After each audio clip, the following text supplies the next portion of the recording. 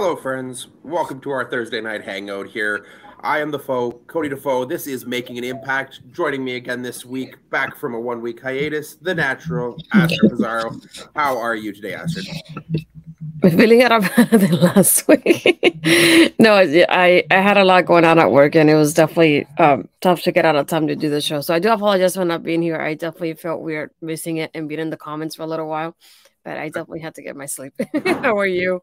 It was okay. Ed and I managed to make do. We managed to make the show a couple hours instead of our regular one hour hangout here. uh, I am struggling today. It's been a, a, rough couple weeks and I'm coming down with something, but I'm battling through here to talk some impact. I couldn't couldn't miss out on this as I'm going to unfortunately be away next week, so I had to be here this week.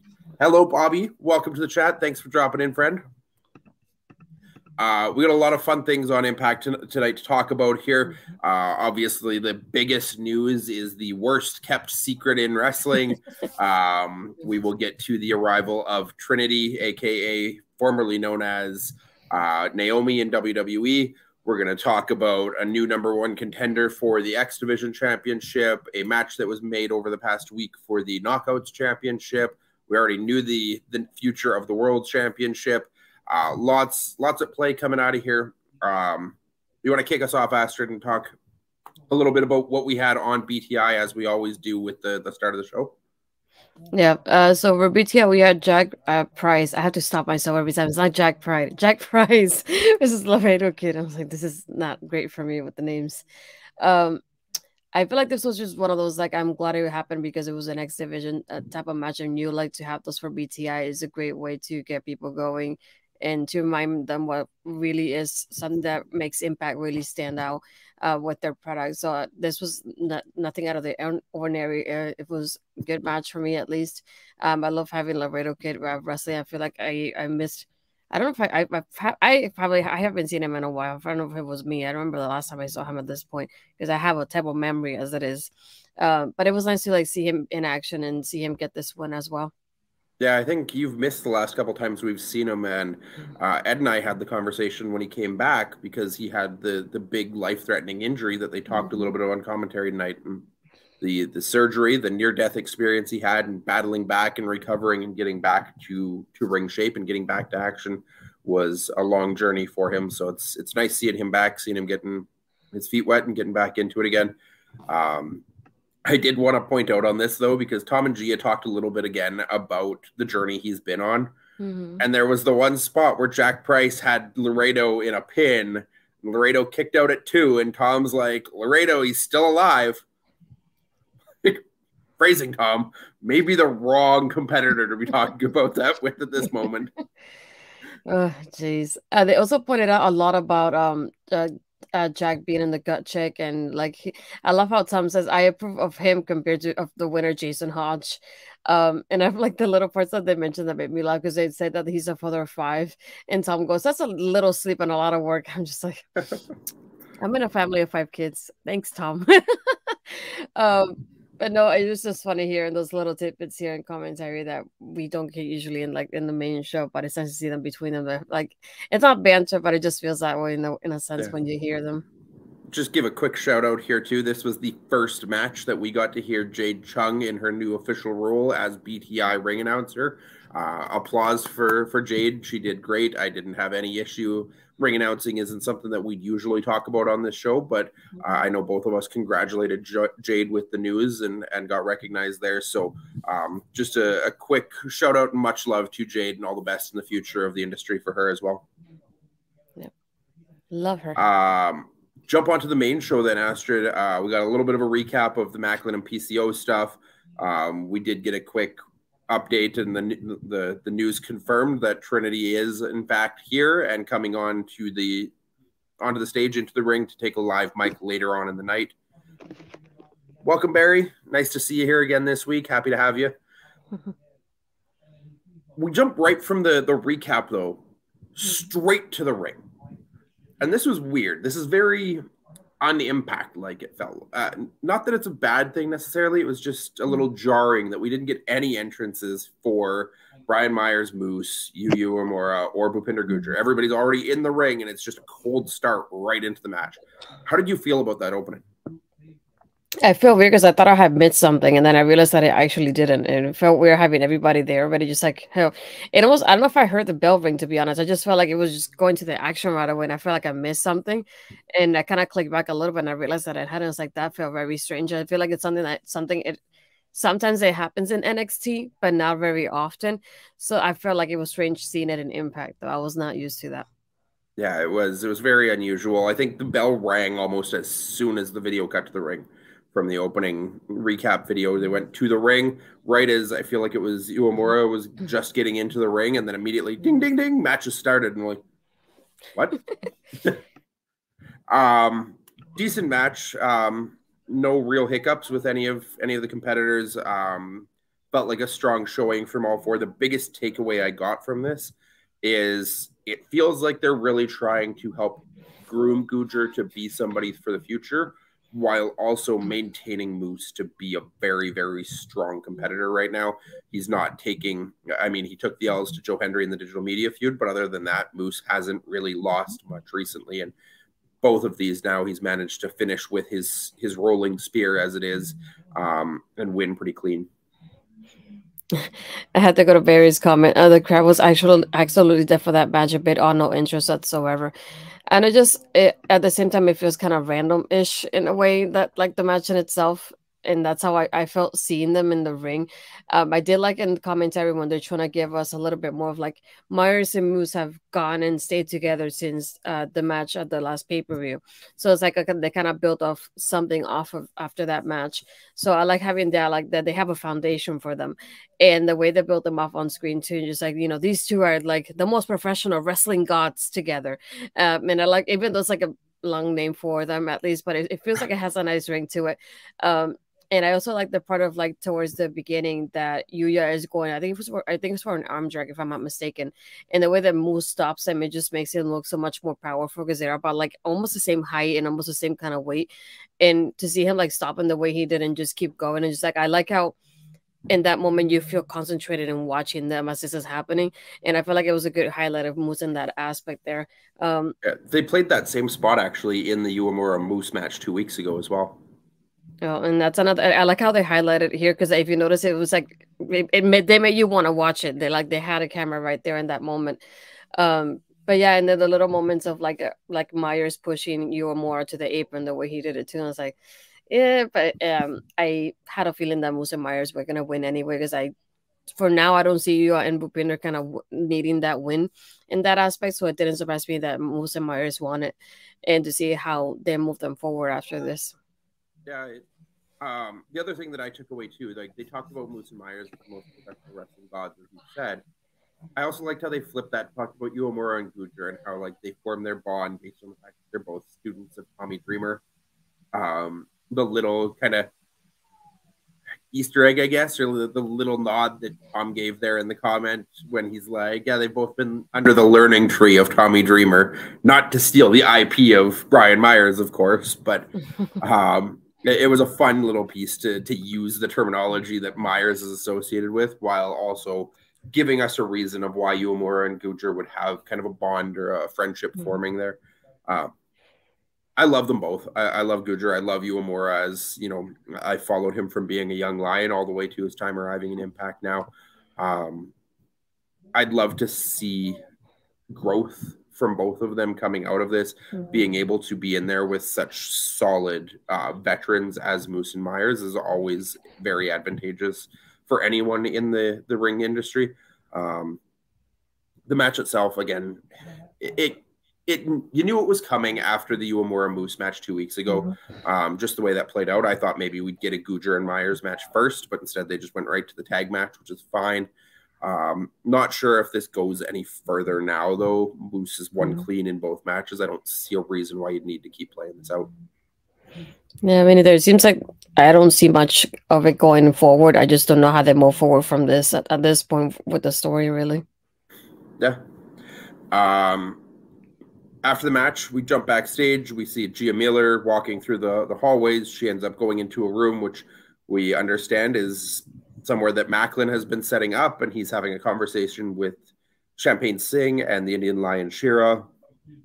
Gia interrupts and asks Maclin like why she chose these two to align with, the question we all had coming out of last week's show, to which Maclin gives a non-answer, basically saying it's you know it, tactical. He's he knew that the entire locker room was going to be after him, that he had a target on his back. He needed to align with someone, and this is who he chose. Thanks, Steve. Okay, sure. Tell us why. if it's like a random person generator. We'll pick yeah. these two. yeah, Let me just randomly choose from the people on the roster who may be willing to have my back. And okay, I guess these guys have been on BTI. Let me elevate them up the roster. Yeah, it didn't. It didn't really help. nah. Um, not much more to talk about there. I guess uh, we do have a recap of last week's attack on Santino which fades directly into the new detective of authority, Dango, um, in deep deliberation at a wall chart of all of the different suspects and candidates with strings attaching everybody to everybody else. Um, and Joe Hendry shows up and is here to help.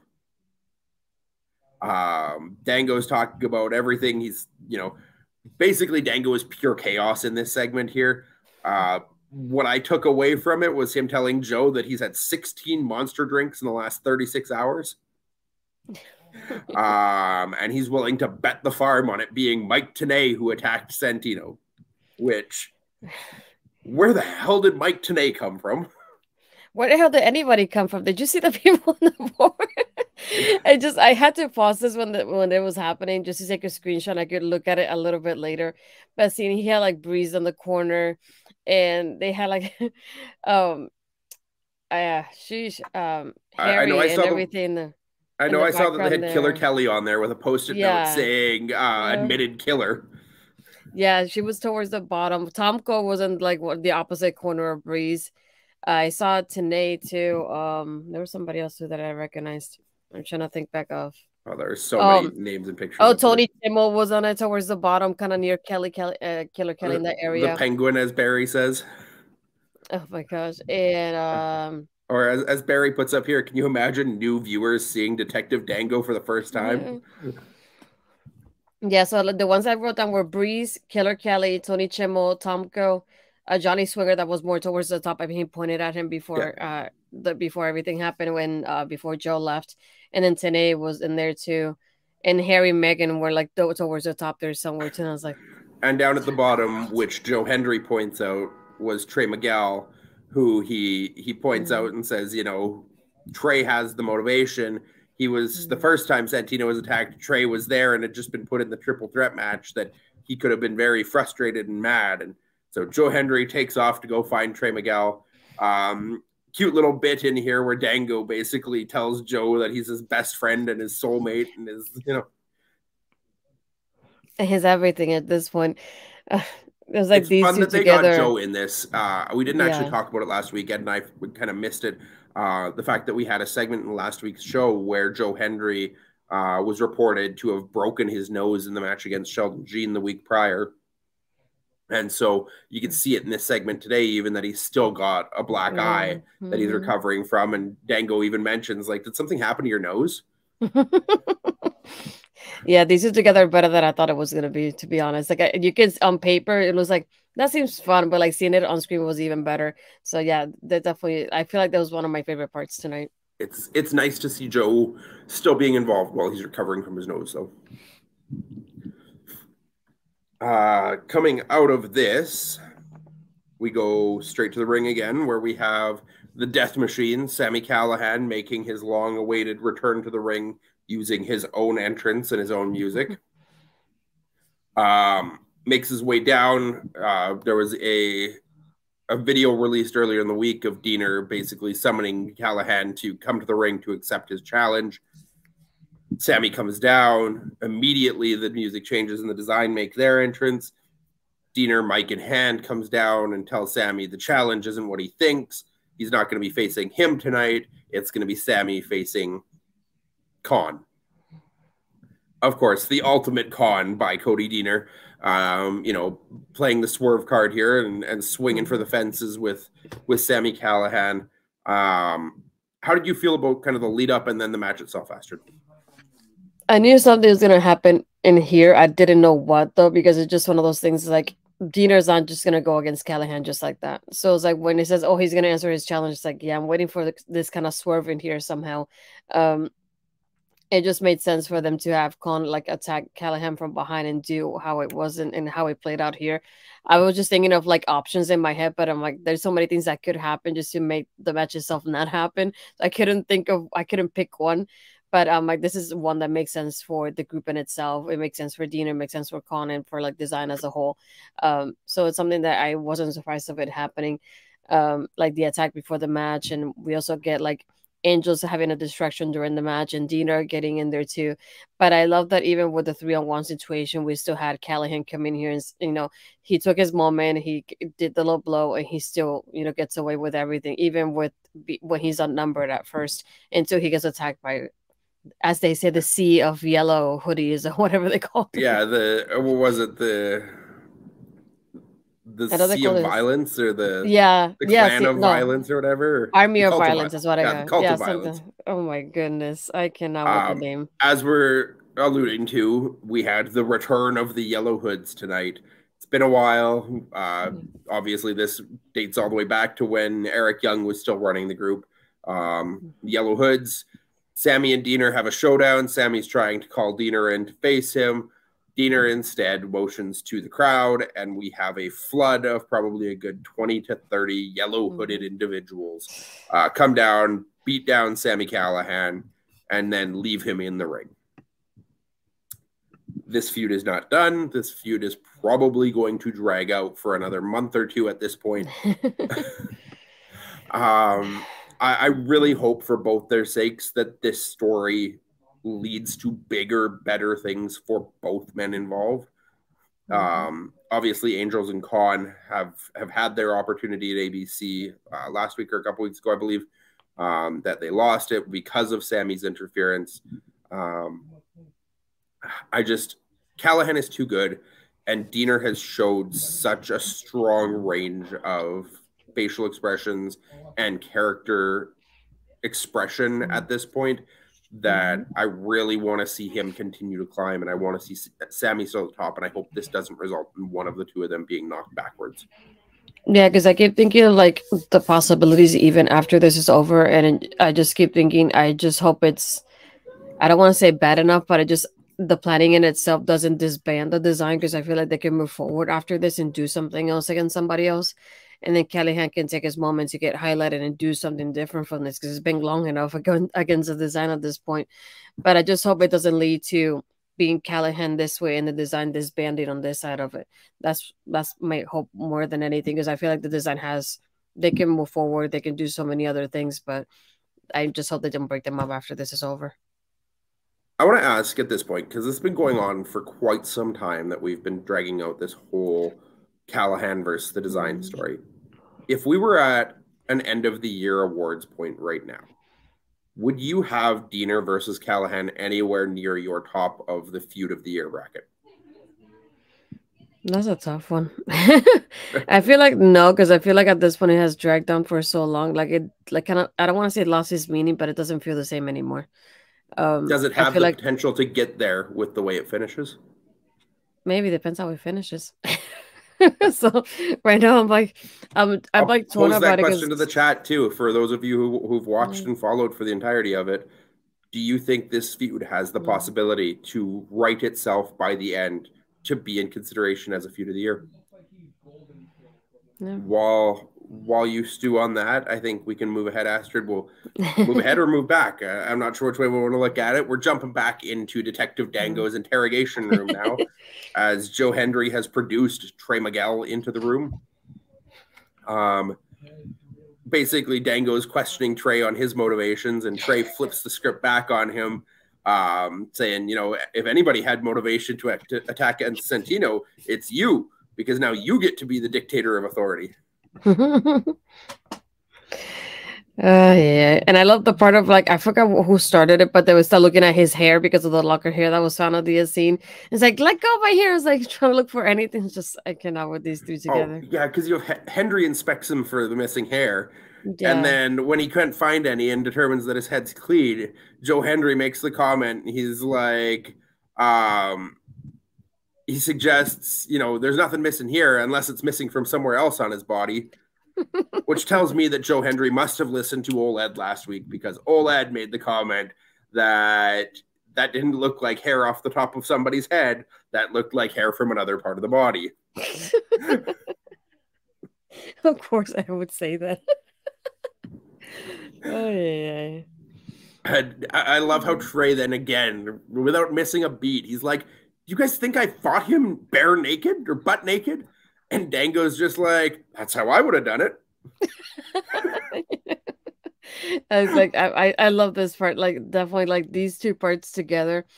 I, I love every bit of it. It was better even, than I even. Trey, like Hendry and Dango Yeah. were just perfect together, but even Trey just worked so well. Even as evil Trey, as he's been for a little while now, um, Trey Miguel just has this uncanny ability to flip any kind of conversation like this Mhm. and just roll with it. Yeah, very well done. Uh, we got another segment then with Nick Aldis and Jimmy Jacobs, Astrid. Um, I, I kicked it to you last time we had the conversation about Nick and Jimmy in their interview. Uh, ask you again, how did you feel about this one with Nick Aldis back there? I feel like I, I like this part of um, more than anything because it's just his way of like inserting himself into the roster more than anything. Being, I was here before, and here I'm gonna do it again. Um, and I liked having Kenny interrupt him as well because like we've been saying how Kenny really doesn't have any direction right now, and this is what they're going for for the moment. While you know we have Maclin with PCO, I think it's super interesting and a great way to highlight Kenny King in here with somebody like Nick Aldis who just arrived there um I love the part of he's like, oh, like you with your square jaw and your accent and your suit, like you probably got got the more like wrapped around you, but not with me.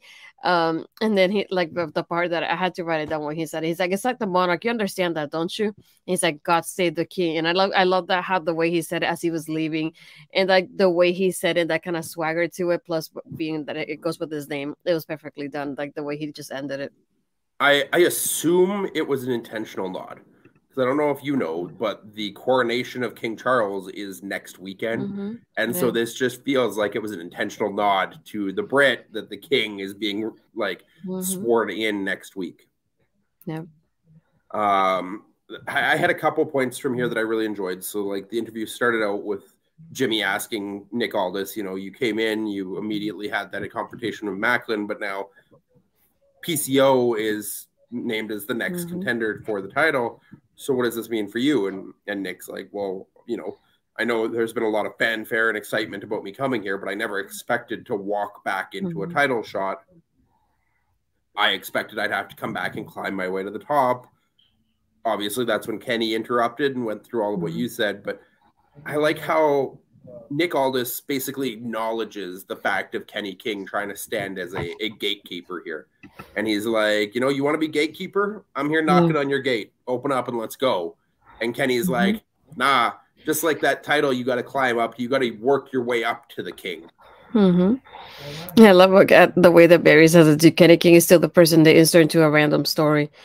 Uh, that's how it feels for me at this point too, and it just I don't want to say it's upsetting, but it's kind of like disappointing that aspect of it because, like I said, it's like out of all the people and on him more, he's the one that was always kind of in the background there, so you kind of always forget that he was there, and, uh, and most of the time, and to see him He- he now, just- he's starting to really feel like that gatekeeper to me. That anybody Mm. knew they ca- have come in, anybody that needs a name value to have a feud with, to just kind of get their foot in the door, Kenny King's the guy. And you know, if you have somebody needs backup like Eddie Edwards, Kenny King's the guy. You have some an open spot in a five man tag match like Bully Ray, Kenny King's the guy. You know, he's he's that veteran hand who's been around, who's done so much, who you know you can trust to have the ability to go with anybody in the ring at any time. It's unfortunate he can't get his own story, but maybe hmm. his story just is is he's the guy he can't quite get to the top of the ladder, but he's always that second rung that's going to be there waiting if you try and climb too fast. Yeah, I just keep thinking back of like that promo that he had in, at the beginning of the year of like him going like, "Oh, all the champions, make sure you're like, you, you know, there's a target on your back, and you never know when I'm gonna come." And then I feel like not much came out of that, and I keep thinking back of that promo, and I was like, I just, I was just hoping he would pick a time and just you know, get himself in there, keep going from there, and have like more of a long term story. But it was very short lived. Yeah, I, I do hope that this ultimately um, leads to more for him. Uh, and obviously, we got an announcement later that the the Kenny King Sheldon Jean connection obviously isn't forgotten yet. Um, although we didn't really get any more build to it tonight. Mm-hmm. Uh, Jody Threat and Alisha Edwards, Astrid. I know you were looking forward to this one. Hello, Mr. Parrish. Um, this one, the only thing, there was a part that it really frustrated me, it took away from me for the whole match. When Alisha starts wrapping her legs around Jody, and here I am thinking, oh, she's gonna do something great, and then she just moves around and just thumps her head on the like on the canvas the way she does, and I hate that move first because I I used to like play the video game with my brother, and that was the one move all the divas would do, and like not only that, but like having like somebody like Jody just put her hands on the mat and just keep going like that, it does not work for me. I hated that so much, and it's like I wish I could have just said like this was what the only knockouts match that we have for tonight. And I kept thinking, oh, it's gonna be great because Jody's in it. And then I saw that and I was like, no, that's not what I wanted. And I feel like it took away from everything that happened during that match because I hated that move. I was just hoping it was like the way she was setting it up. I was thinking something great's gonna happen here. I was very disappointed. Uh, but over like on Jody's aspect, I feel like she did very well. And like I w- I've been saying since she started, I, I, she's racking up wins. So they're building her off to a great start with a great foundation to hopefully lead her something bigger and better. But I love having her like win little by little and like little things like this. But yeah, this part with like Alisha, I was like, that ain't for me. I don't like that move. I hate yeah. it. With with the fact they didn't really give this more than just a, a one off mm. build. Um, hopefully this is just that. It's you know Jody getting a win over an established name, solidifying herself as mm. someone to be reckoned with, and just moving on to bigger and better things the match itself I thought was very underwhelming. I didn't other than the, like the only good thing I saw from Lish in this match was the slap right off the bat. Yeah. That was a pretty solid slap to the face of Jody that she landed there, and that was it. That was where Lish's good ended. One hit right off the bat, and she was done for the match. Um, no, Jody. Jody is you know a solid a solid talent, a great signing for Impact. I just I want to see her and what she can do with more established and more capable talents. As we are saying, it's terrible. All the woman to use to show off the women's division to new viewers is uh, useless. Alisha Edwards. I don't want to say she's useless, but it just like it. I wouldn't have put her in there, and it just like not only that, but I feel like her as a heel, like it doesn't fit her because we see her as always as like bubbly person. She's always blowing kisses to the camera, like her energy. It just it just screams baby face to me, no matter what she does. So it's like I feel like she's gonna have to try a little bit harder for me to to have her like uh, have me think of her as a heel moving forward. Yeah, it's it's been a weird transition for sure. That trying to tell us she's heel now just because she helped her husband. I don't know what helping your husband has to do with making you a bad person. oh, uh, Gia Miller gave us a, another backstage segment, backstage interview. This time with Chris Sabin and Alex Shelley. Uh, discussing, you know, the the Motor City Machine Guns losing their titles, losing their rematch to Ace and Bey. Um, and then she brings up that, you know, it's not all bad though, because Sabin managed to pin Trey in the six man tag and set himself an X Division title match at Under Siege. Um, Bobby, I don't welcome. Know. I don't know. Harris, I know I, I missed you, but welcome everybody the part that made me laugh about this, the when Gia starts the, the interview, she goes, "My favorite tag team," and I was like, "Say what, honey?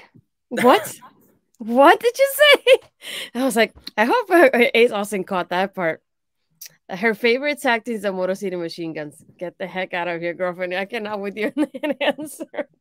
Um, I love that part of like having Sabin like highlight that he's going for the title, but at the same time going, Alex actually goes, I'm gonna go for the world title. And then we get a few minutes after the show ended that he's actually in the number one contenders match for the world title.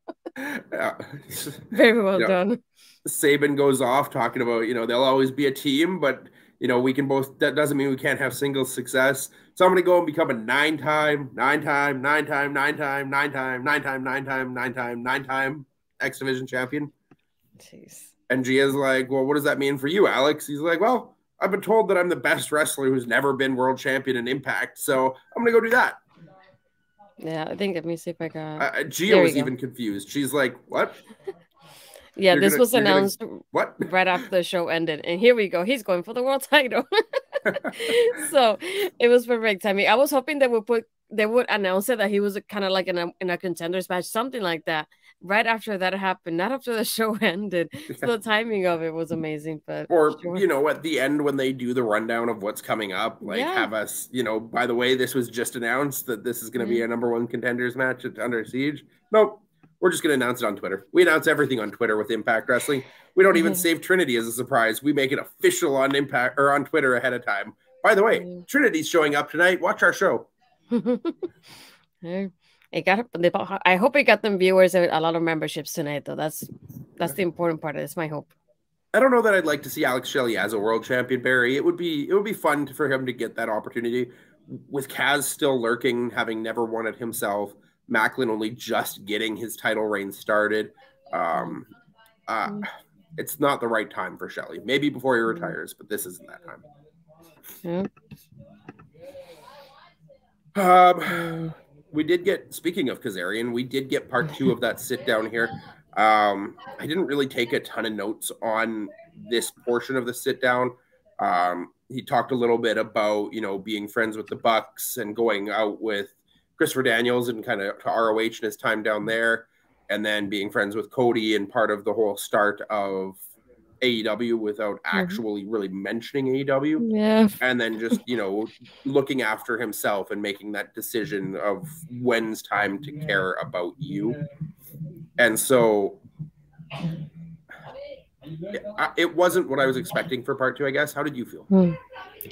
I liked it because it showed a little bit of like we, what we didn't get before AEW started. Like you said, he says, "Oh, I I was here and then I was seeing up with Daniels," And then when he mentions Ring of Honor, he does say the Briscoes, uh, Roddy, and then he mentions Jimmy Jacobs, like telling him he was, I guess, like a newer guy at that moment.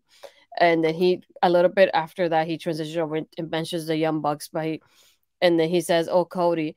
But I like the part of like he said, uh, "This is the moment." Like, if you noticed, it was a nice timing because all of our contracts were expiring around the same time.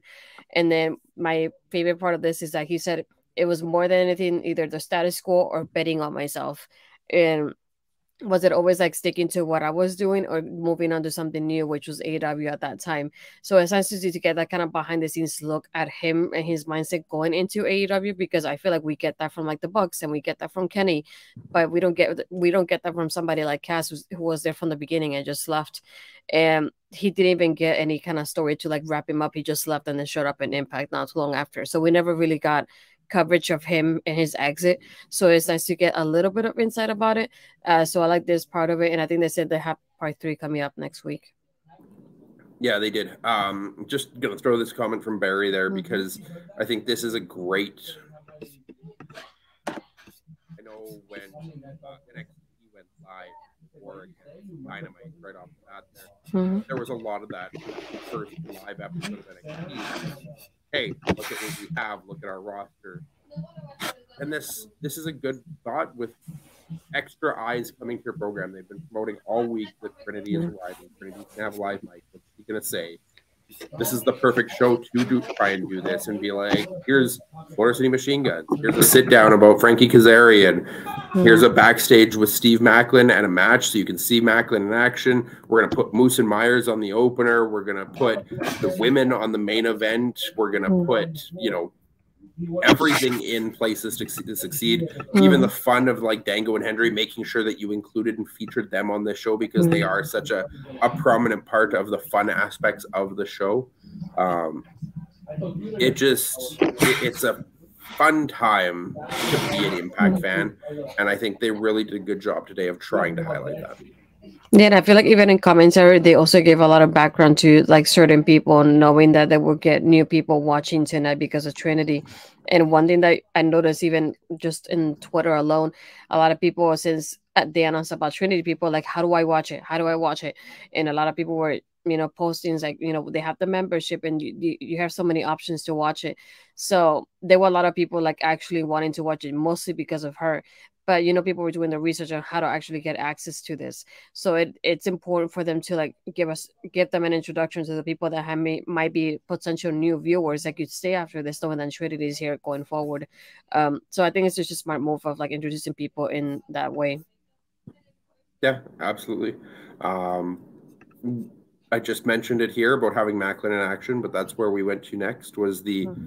six person tag between Maclin, champagne singh and shera taking on PCO and two partners of PCO's choosing. We get uh, the champion and his partners to the ring first, and then PCO comes out. Looks like he hasn't found any partners. He's ready to go it all on his own. And then, as I kind of called it last week with Ed, Heath and Rhyno, who have been feuding with Singh and Shera a little bit over the past couple weeks, come out and basically tell PCO, we understand that you wanted to do this by yourself but we got some heat with those two also. So we're going to come out and help you. Mm-hmm. Yeah.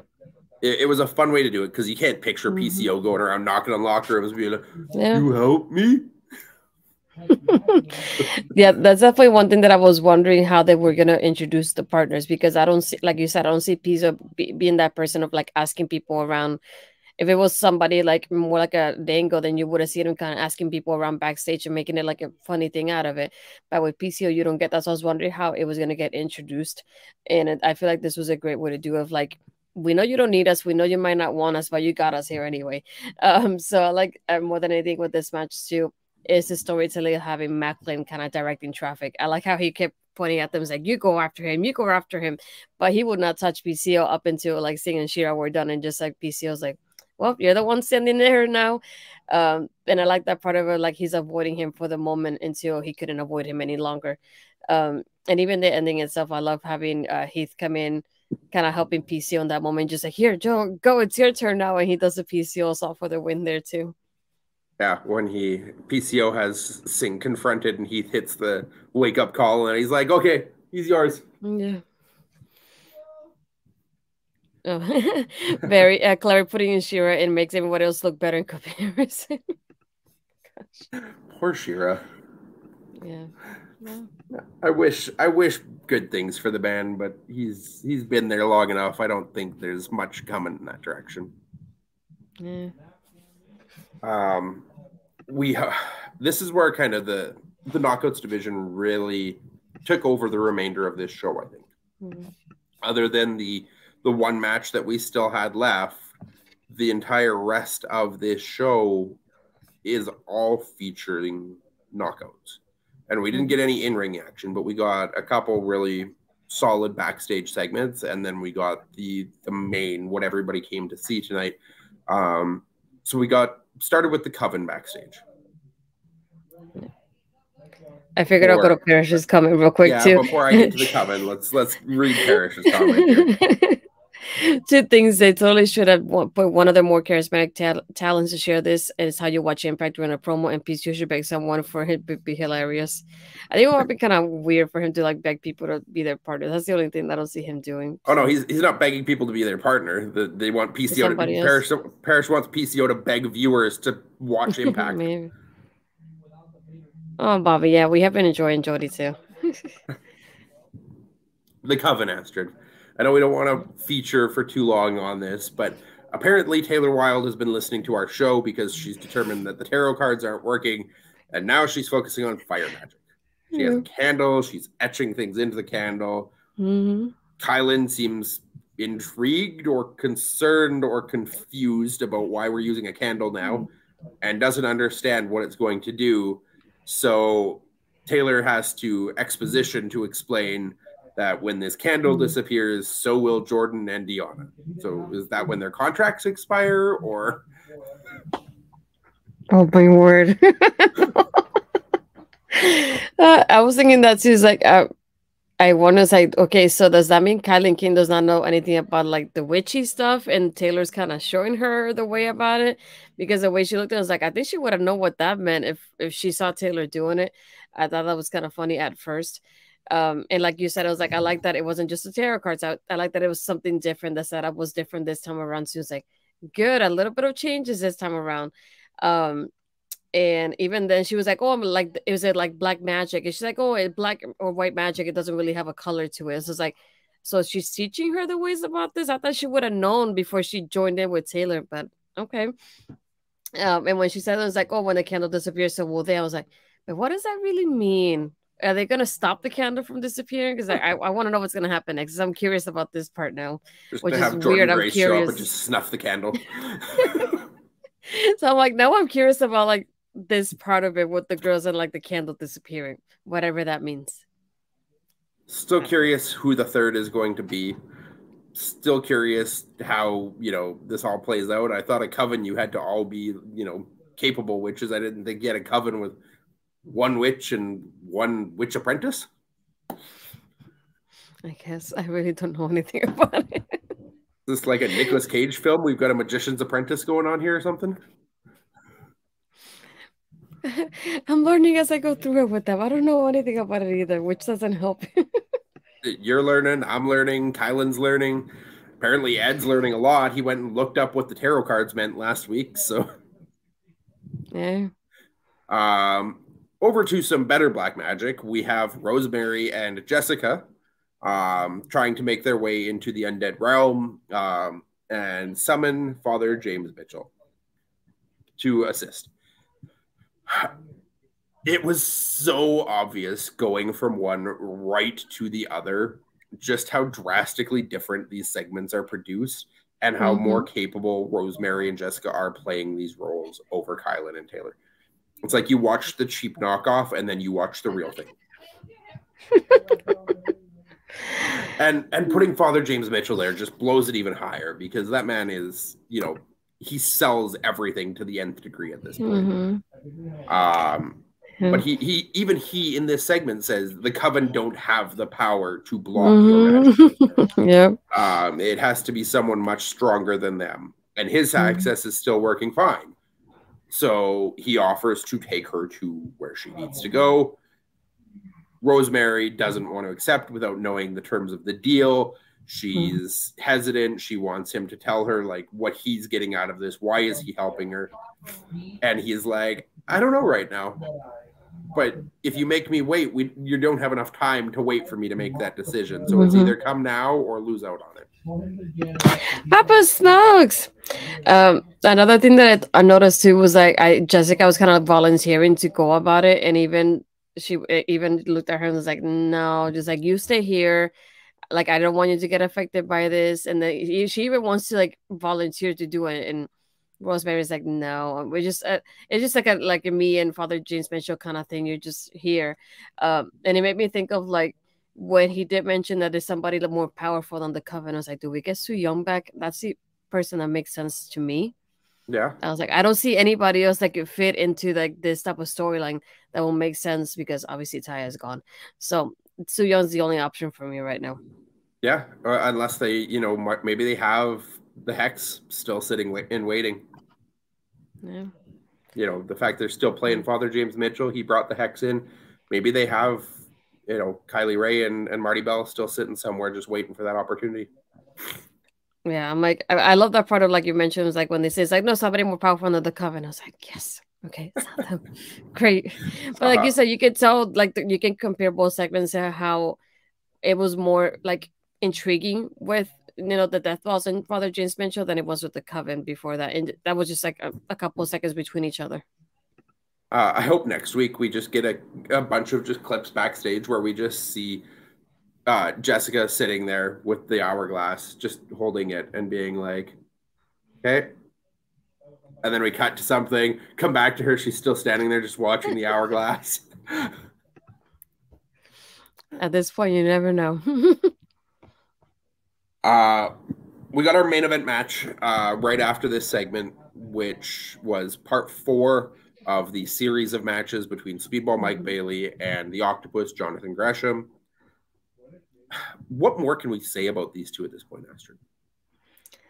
Uh, the only thing that I, I would say that's another thing that we mentioned a few minutes ago is that even before the match started, they gave you a lot of background into the match. Again, I get thinking new viewers, so we gotta show them how we got into this match and what led to this. And I love how we, they had, as Gresham was making his entrance, they put the little clip on the side, and while they're talking about it, you know, just like when Speedball's coming in, they have the other clip about it, and then they show the bigger clip, so we get the whole background story before the match itself it starts.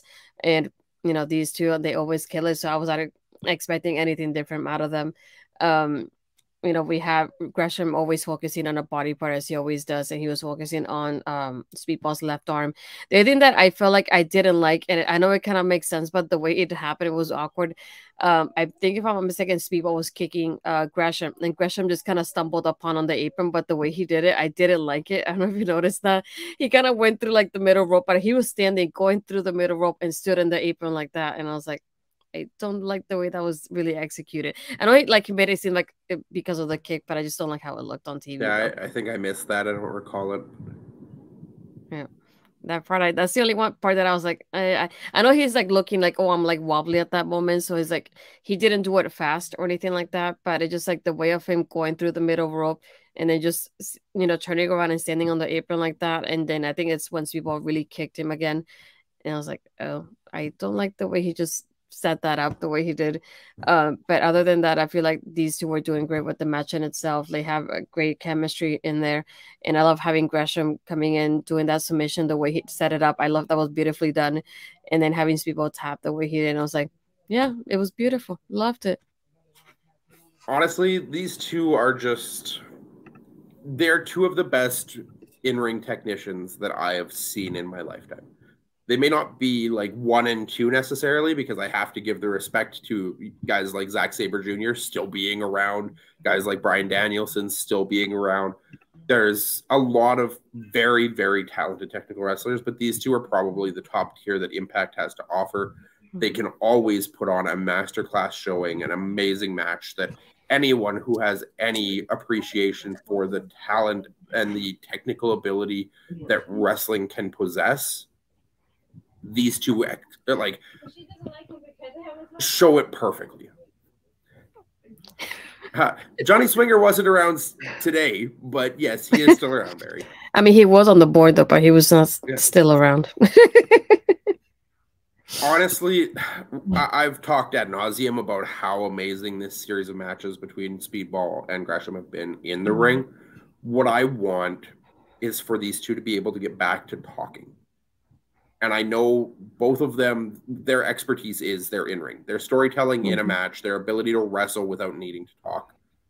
But in order for them to become champions and to grow and to get different places in the industry, they mm-hmm. need to be able to fill out their cabinet to become more well rounded, to show us that they can talk with the likes of a Maclin, with the likes of a Josh Alexander, to, you know, have some ability to cut segments with a Trey Miguel, with a D- Dirty Dango, with a Joe Hendry.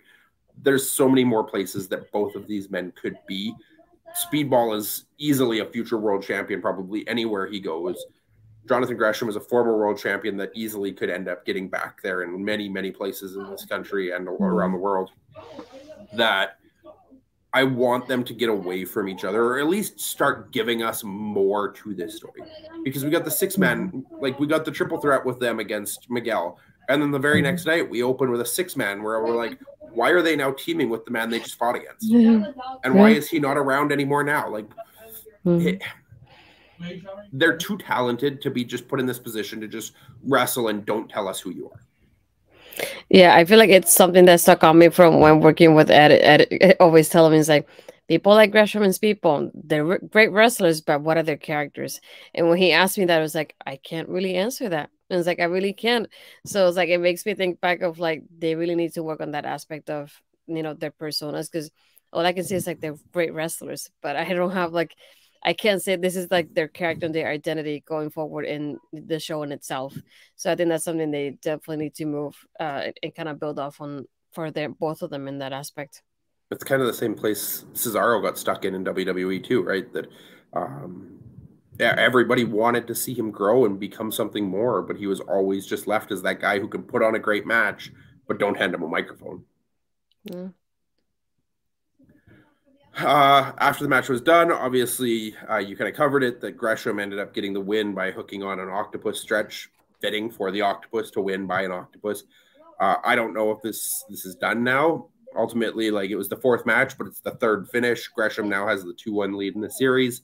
Are we done? Do we separate them? Do we go to a best of five? How are we looking at that?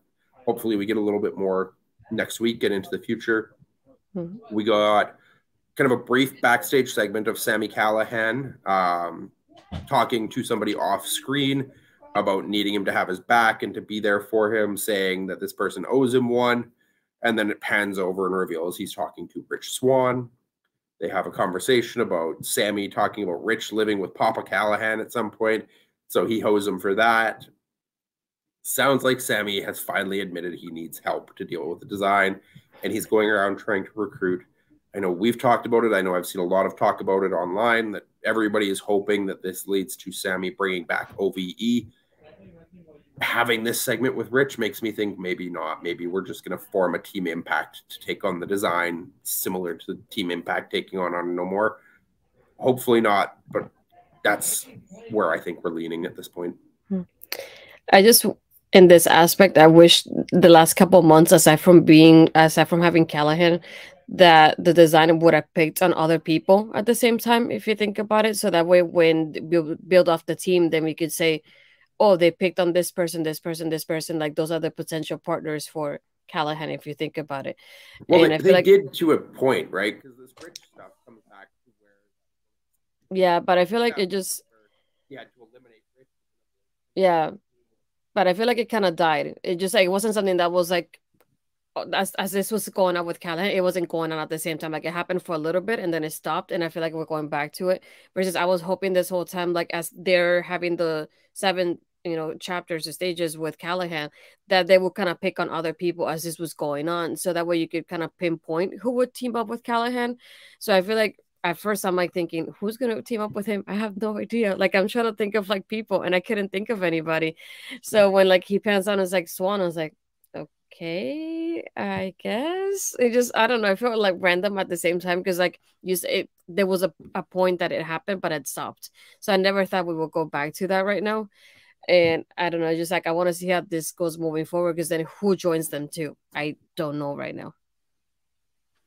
The only other one that really would make sense out of a story point would be Heath and Rhyno.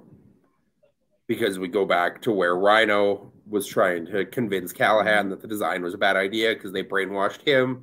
So they're brainwashing Callihan. So he tried to come to Callihan's aid and Callihan ended up beating him too. So Sami comes back around to Heath and mm-hmm. Rhyno and says, Hey, I'm recruiting to take out the design. I know you guys have issues with the design. Join me and we'll defeat them together, kind of thing.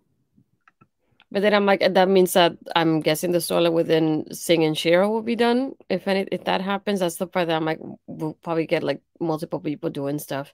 Or do we um, go to a five v five again and somehow Singh and Shera help the design? Mm, mm, that's the part that I'm like, I feel like there's a lot going on, so that's why I kind of was hoping that they would have like little things with other people moving forward um, ain't gonna bear his comment. It's been such a waste. Rich Swann was a world champion, num- number 10 on the PWI uh, top 500, looking like a star. And he lost to Omega, done nothing of significance ever since.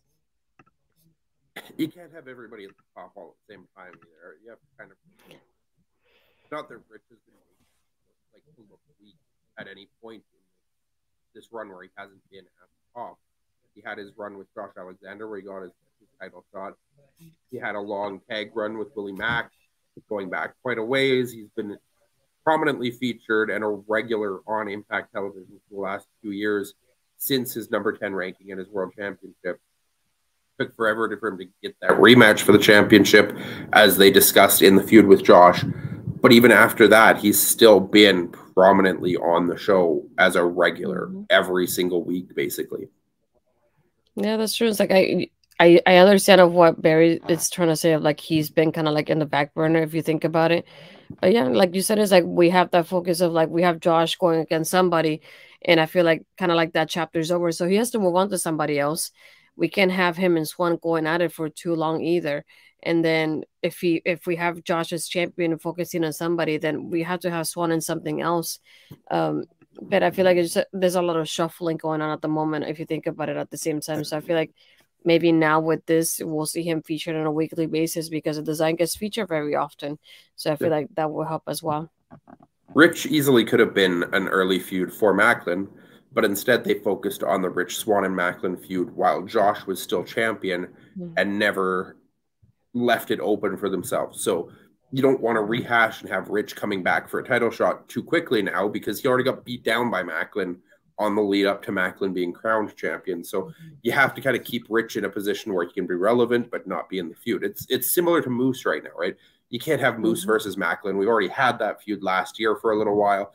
Both of them are heels. You're not going to go in that route, but you don't want to make Moose look weak either. You're he, mm-hmm. ultimately right now Moose is basically wrestling on the bottom of the card, but he's still being kept strong and he's serving a purpose of tutoring and mentoring younger guys like a Gujjar and like a Uemura at this point. Mm-hmm. Uh, I'll give kind of the quick rundown of what they gave us for next week. Um, mm-hmm. I guess the other piece that I almost skipped over here, we got a very quick backstage segment of Maclin yelling at Scott D'Amore about something that happened with Rhyno in their match, uh, basically demanding that Scott D'Amore has to do something to make it right. And Scott's like, you know what?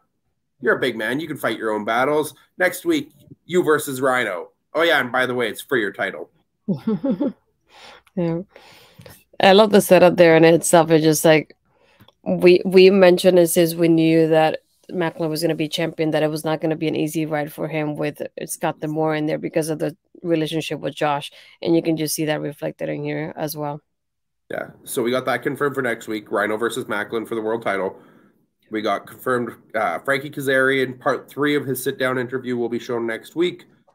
Nick Aldis will take on Sheldon Jean, Masha Slamovich versus Killer Kelly, and the Coven versus Deonna and Jordan for the Knockouts tag titles. This is shaping up to be a pretty solid card, I think. We get the return of Aldis in ring action. Masha versus Kelly is a match that we've been looking for forward to basically since both of them became full time members of the roster. And Rhyno versus Maclin we've seen before, but it should still be a great match with both of those very talented guys in a title feud, most likely in in or near the top of the card, I would assume.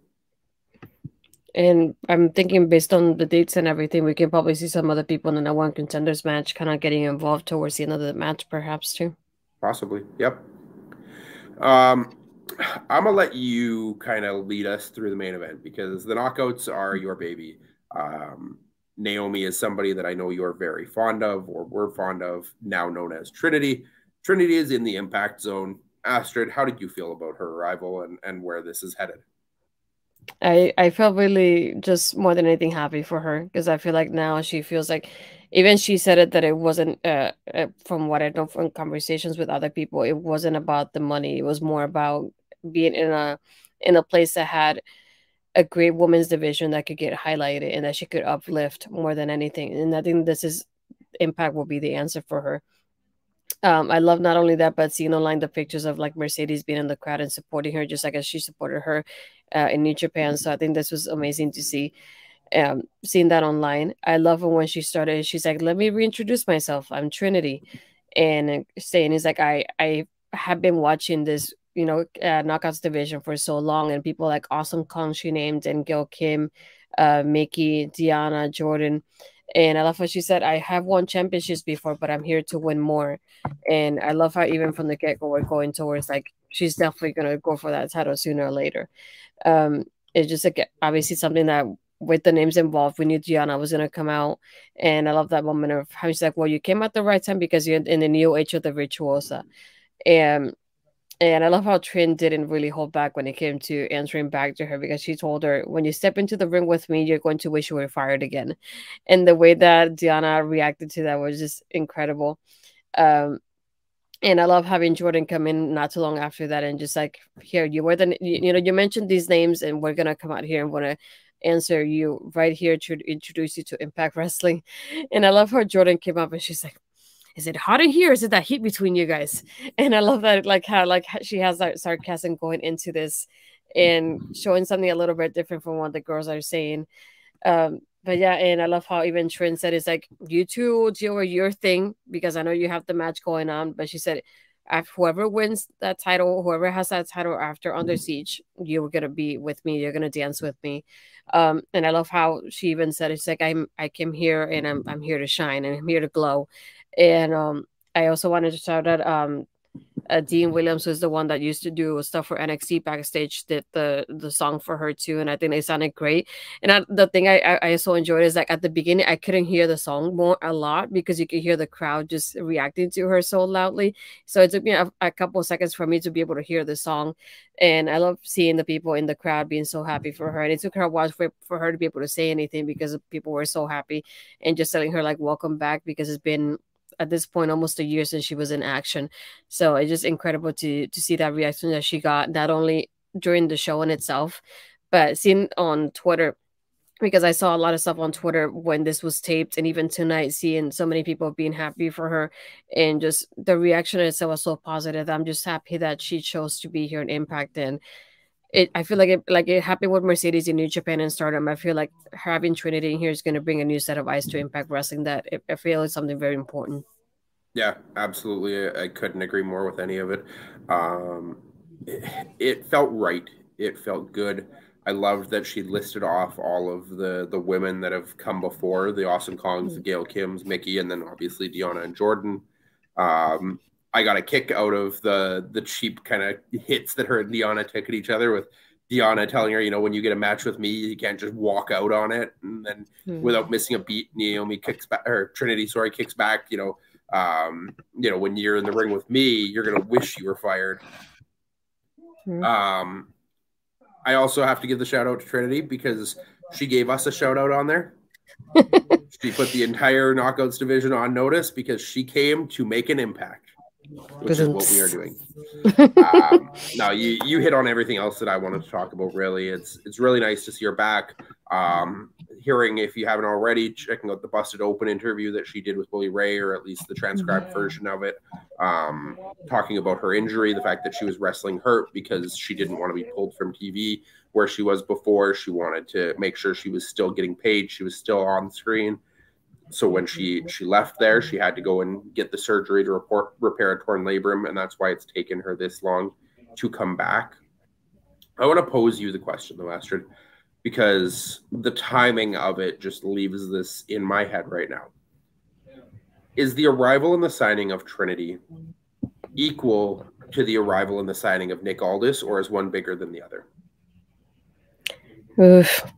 I feel like the only difference is that um, with her and the way that she came on, they're promoting her a lot more than they promoted Nick coming into Impact and returning.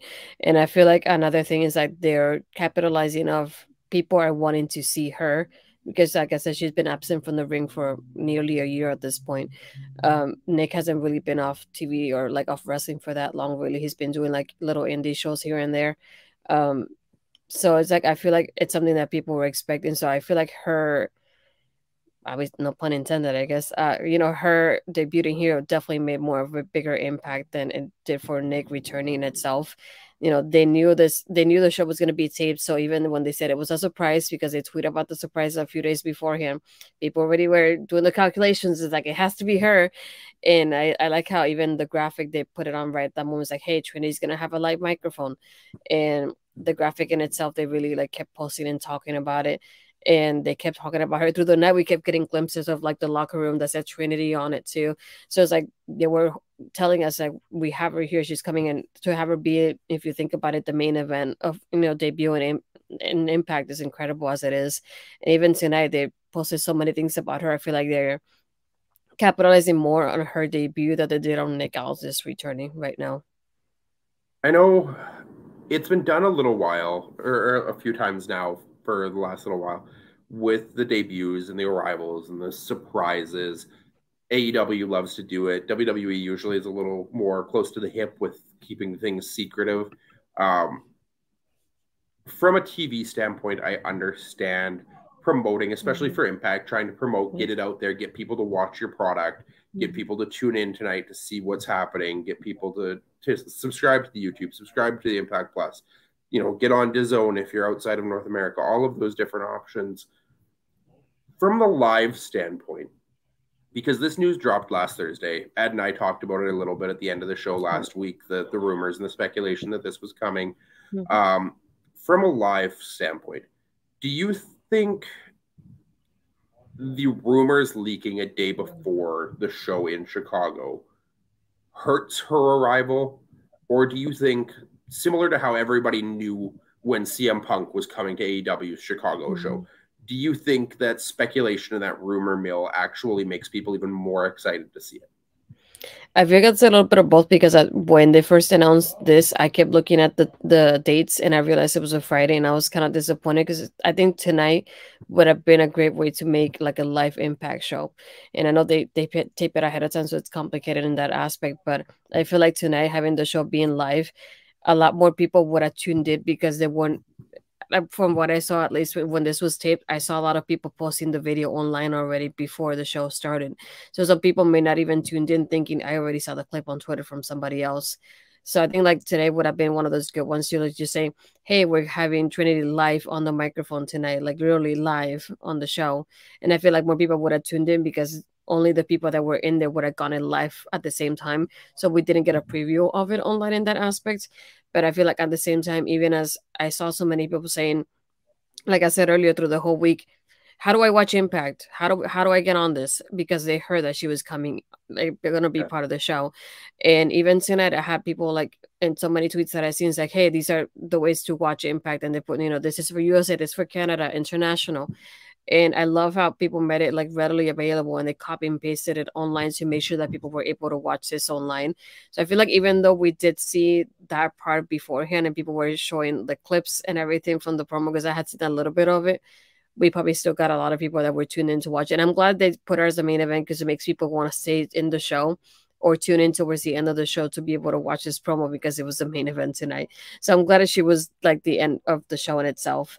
Um, but yeah, I feel like just a thing of like today would have been a great one to have live, but at the same time, I can I would like to know if tomorrow they have how many people actually tuned in to this particular episode compared to before and how many people subscribe whether it was to youtube like i have or to impact plus just to be able to watch her tonight because i would like to see that comparison the numbers before because they will like we said show the impact that she's made of like advertising her beforehand yeah, I'm just pulling up quickly here. Um,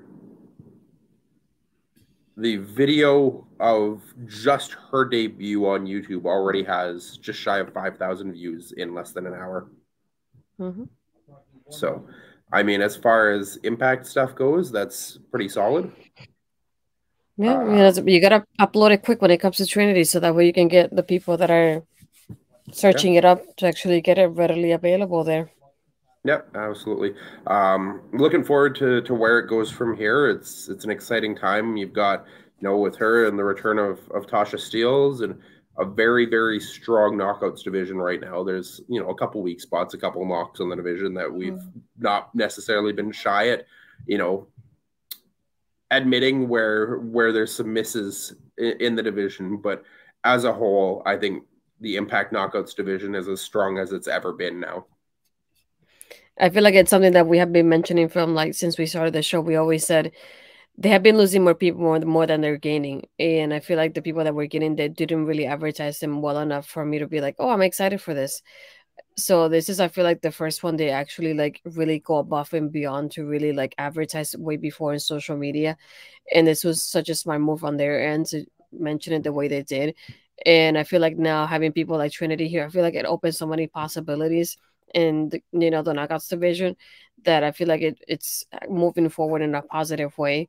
And like we mentioned, we know we have Kilynn King right now, we have Jody Threat, and having Trinity in here, like they have some great additions so far. It's just a matter of building them off now to the point of like making people care about them um, more than anything. I, I feel with Trinity that's a little bit easier because people already care and they want to see more from her but like Jody, it's somebody like people are kind of getting introduced to her with Impact, and so with Kilynn King, if they don't watch her from like her indie matches, so I feel like it's just a matter of building them off and giving them, you know, people wanting to see them more often.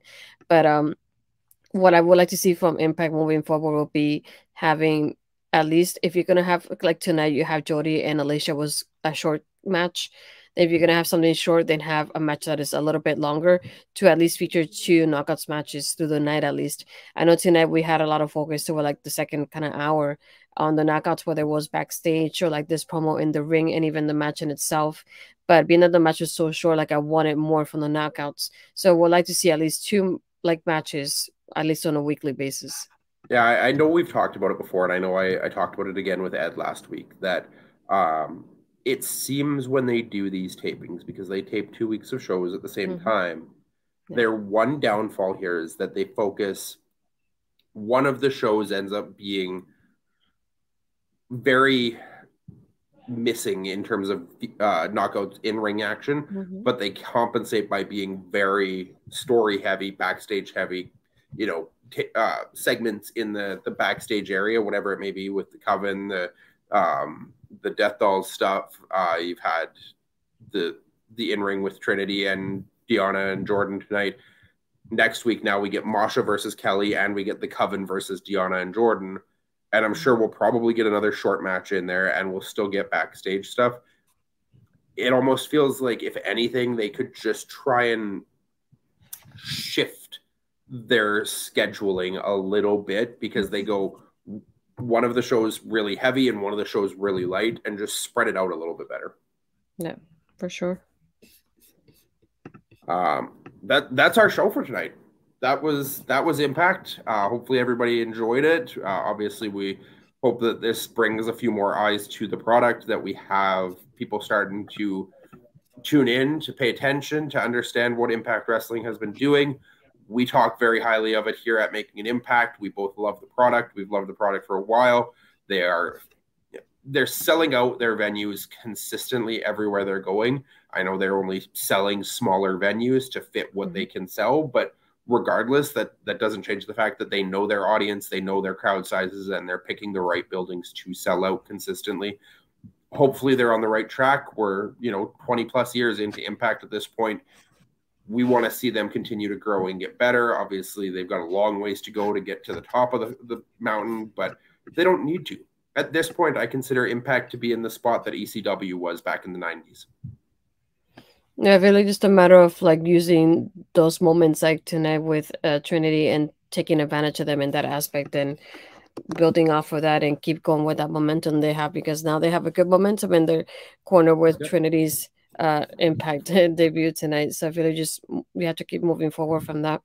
Yeah, they got a big name in their corner. They've got a big win under their belt that she chose them of everywhere she could have went to. You know, Mercedes went to New Japan. I'm sure she had AEW knocking at her door. She probably had ROH there. She probably had numerous other opportunities presented to her.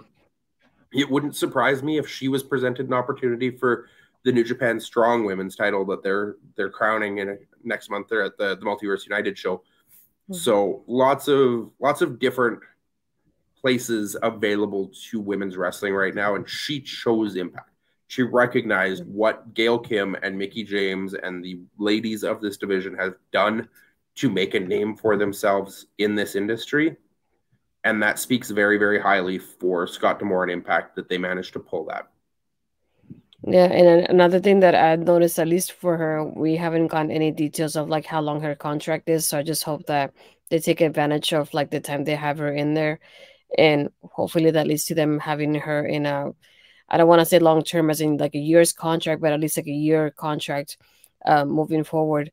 Because I'm knowing her, she's gonna want to do other projects now that she has the opportunity to do so. Because there's something that was limited back in WWE, so I feel like now she's gonna be like to me like in that sense with like the the way Mercedes is going to the point of like she's wrestling, but she's doing other stuff and taking the championship with her wherever she was. And I feel like Trinity would do that same thing with Impact and you know uh bringing Impact wherever she goes or whatever she does now moving forward, and that's very smart of them to do. Yeah, uh, just wanted to bring Bobby's comment up before they before we close out. Who else would you like to see join the Knockouts division right now? Anybody come, immediately come to mind? Yeah, shoot. It's just I feel like most of the girls that I've I've seen have gotten signed. Uh, well, I do have a, a team that I would like to see because I interviewed one of them not too long ago, and I they sparked my interest. It's definitely uh Raylin and Heather Monroe, Blunt Force Trauma. I feel like now, right now, Impact does need more women's tag teams, and I feel like that's one that I would like to see. And I know, um, uh, if I'm not mistaken, if I'm saying it correctly, hopefully, uh, Misa, Kate, and uh, Maddie, I know they're mostly in NWA, but for them to go in and jump in and do something impact, I think that would like well be nice to see as well. Yeah. Uh, I mentioned earlier on the night, I'd love to see the Hex come back. I'd love to see them, you know, become mm-hmm. more prominent, featured on the show as opposed to just the one-off taping that they were at. Um, nobody big name outside of of Impact right now in terms of like former WWE or AEW talents that I can think of. Um, I will give just the, the shout out out there and the respect deserved because I think I would love to see Ava Lawless get a chance in an Impact Wrestling if she wanted to leave the local scene and go to something bigger and, and get on a televised program. I would love that for her. I think Gigi will also be a great choice, but um, I feel like her and her partner maybe that will be a good one. Being that we need more tag teams in there too, so you yeah, know. you know, Gigi would be a great one too. There's there's plenty of uh, small indie talent out there that deserves to be featured. Uh, I even mentioned it with Taylor, aka Terrorizing, uh, when she was in the the start of the Alisha and Jody Threat stuff. That I'd like to see her get a, a more permanent role. Yeah, that's true. Um, I feel like it's a, a, a foregone conclusion and a given here, Astrid. Impact maker for the night. Uh, well, I'm definitely have to give it to her. It has to be Trinity, nobody else. Yeah, there's nobody else you can on this show. It, it 100% is Trinity. She came in, she made her impact, she made her name, she put everybody on notice. She held her own in that ring with Jordan and Deonna. Let's let's see it. Let's go for it. Um, you know, you don't need to put the belt on her, but let's pull that pull that band-aid and just get her to the top of the card as quick as possible. Yeah, she said, let's dance. Let's make it happen and quickly, please. yeah. Uh, that's it for our show. Thank you, everybody, for joining us. For myself, you can find me on the Twitter at Cody Defoe. This is my number one place to be contacted and reached. Um, I, am not anywhere else really very frequently. If you want to shoot me a message, respond, comment on anything I pop up there, I always share when we're going live. Thursday nights here for Making an Impact. Mondays, you can catch the replay of this show if you ever missed the live version or you want to go back and rewatch the discussion. Uh, Mondays on Backbreaker Video. Unfortunately, next week I had a change in schedule. I had a concert supposed to happen on the Wednesday that got bumped to the Thursday. Tickets are already bought. I'm not missing out on the concert, so I will not be here. Astrid is going to be bringing in a very special guest. I don't know if she wants to share it now or keep it a surprise for next week but I will be back in two weeks' time to speak more impact with you guys. I, I won't mention it just get people tune in to watch it. Um, I missed doing a show with him, so I figured this will be a great way to an opportunity to do that. Uh, Corey, thank you for stopping by. He said, "Hey guys, hope your Thursday has been great. Just watched Trinity's debut on YouTube. Uh, great stuff. I'm looking forward to what she brings to the brand. Little late, but I'm sure you guys rocked it. Uh, no, we are just talking about Trinity ourselves, and I hopefully that they upload her stuff more often so they can get more people watching this stuff on YouTube for impact. Um, well, you you have a recording for Marvel coming up this weekend. Come on, you gotta oh, talk about too. it. Uh, wow, my brain's fogged. Okay, I'm trying to not deal with the sinus pressure right now and just not think about it. But yes, I will be here Sunday night with OLED and Andre talking Guardians of the Galaxy three. Yes. Well, I, I think are you going live or recording it? I don't remember. Uh, I don't even know. But anyway, I would say and if you're still um, here in the um, comments, tell me what we're doing. I don't know if we're, we're recording or going live. Uh, no, if you follow our local establishments and you subscribe to the YouTube channel, ring the bell when they get when there's anything uploaded or anything going live. That'll be the best way to know about it, or follow on their social media so you can know when they upload or when they go live with the Guardians review. I know it's this weekend, but I, I'm terrible with time frames. Okay. Actually, um, Ed's, out, Ed's probably out watching the movie right now. That's why he's not answering me. No, he, he finished it because oh, okay. I know. I'm going. I, I got feedback, so that's why I'm debating about watching it. Um, no, but before we go, I did want to play one of the preview clips of my upcoming interview with Samira. Uh, it's going to be on my YouTube channel this weekend. I think hopefully Saturday before the pay per view. Um, so I just wanted to uh, let everybody know about it. So I figured I'll give you the preview. And then if you have it or if you're here right now, you can subscribe to the channel, ring the bell, and click on the bell so you get notified when I do upload it. It'll be sometime on Saturday. I'm trying to figure out the time. But I'll give you a preview now of her time when she met Randy Orton. Actually did meet Randy. So that like was like a full circle moment for me. Like the person that I like love to watch so much, like the my like the biggest reason. So he was very nice. I I had a sign at uh, a local. Uh, I can't even talk at a live um independent not independent meet. I can't talk today for some reason. You know, I'm like the talker and I can't talk. Um, at a local WWE show around my area, I had like a sign like "Take a selfie with me." Like I was so excited. I was like hoping he'd notice me, and he did. He came, uh, took a picture with me. I was like so excited, and like intermission started. You know, the selfie comes out a little blurry, but I don't care. Like I was just like over the moon. I post it. All my friends are excited. show starts back up again. And a security guard comes up to me. He's like, Are you Samira? And I'm like, Yeah. And I'm just think- sitting here thinking, Am I about to get kicked out? Like, how does this security guard know my name? Like, what's happening here? He goes, hmm. You know, Randy saw the picture online and it came out blurry. He wants you to come back and take retakes. And I was like, What? What? And all the people around me are like, What? And I'm like, of course, like, and I'm, and like, my mom was sitting up, mm-hmm. like, in like the hundreds or two hundreds or something, and I'm like on the phone with my mom as I walk back. I'm like, Mom, if you don't see me, going to take a picture with Randy right backstage. And she was like, What? and like, I go back and I get to like meet him and talk with him for a little bit, and it was just like, oh my god, and he was like the nicest guy ever. I was like, that literally probably like made my whole entire life at 15 years old. Um, and he was just really nice. I'd love to meet him again one day i haven't like see like met him since then i would love to meet him again and like my dream is definitely to interview him yeah um, i wanted to show that off because i, I definitely talk with samir about like ring announcing and everything she's done in uh, wrestling media and what you know her advice would be for anybody that um might want to pursue that um, Barry saying, "Am I not watching Impact next week's Eurovision Song Contest second semifinal night, world's biggest music competition? You can't leave me alone in here, Barry. You owe me one though for that one, but just so you know." But yeah, if you haven't yet, I would subscribe to the YouTube channel. Will be the best way to know when I upload the interview. Um, I'm going to be rating, if I do it correctly, I hope, um, if I'm saying it correctly, Santi Sap on Twitch. I know I like his TikTok content, so I wanted to like rate him on Twitch as, as we can tonight. I was hoping he would be live by the time we were done, so he is. So I'm just gonna rate him over now. But I really just want to thank everybody for being here tonight and joining us in this discussion for Impact. Uh, join me next week with a special guest, as uh, Cody said he won't be here, but you won't know until you tune in. So it's, just letting you know. A, very nice to have everybody in the chat as always. Just throw throw everybody's name, throw a shout out. Bobby Barry, uh, Bobby Munson, Bobby Batito, Ed uh, Parrish, Papa Smokes, Corey Michaels, everybody who joined us. We always appreciate you commenting, joining the conversation. It means a lot. We love hearing from you guys. We love talking impact with you guys. Hope to see you back here next time. That's it. See you next time. Thank you.